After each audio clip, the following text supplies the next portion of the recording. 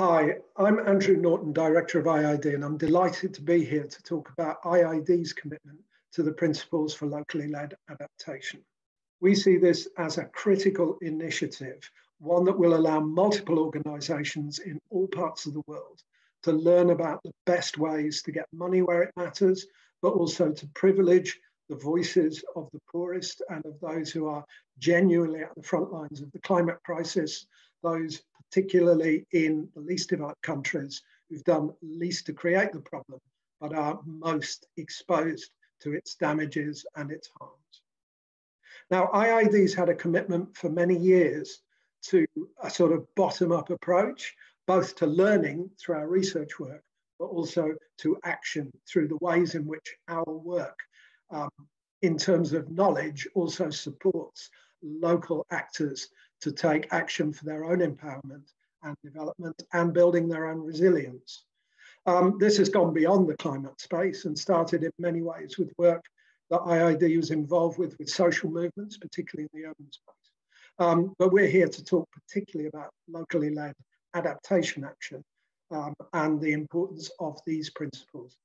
So just to talk through some of the principles and why they're so important.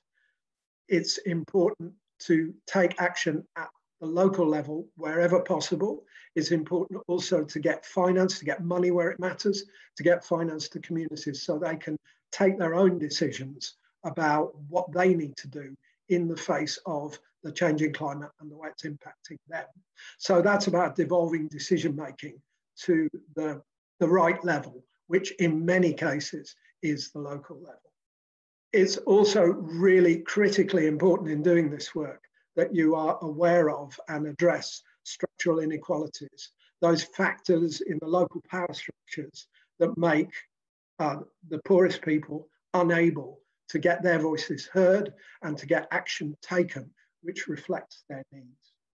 It's also about providing patient finance and providing it in a way which uh, empowers people and allows them to learn as they're going along, and also about ensuring transparency and accountability, and many other things as well, including bringing enhanced knowledge about climate risk and resilience to all levels, including the local level, including all levels in the policy systems that affect local communities struggling with these issues.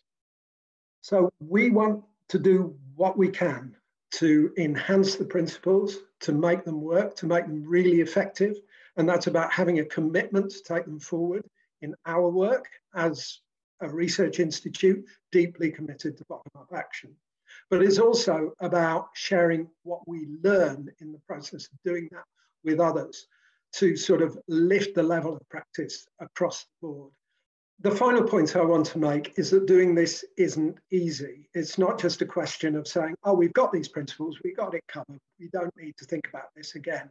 it's really difficult to take this work forward in an effective way at the local level. You need to understand the power structures, the local context in which you're operating. And without doing that,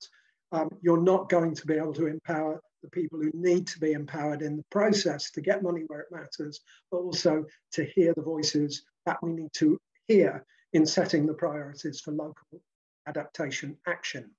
So I'm delighted to be emphasizing, just to finish, IIED's deep commitment to this process, to learning what we learn from doing it and to sharing that with others.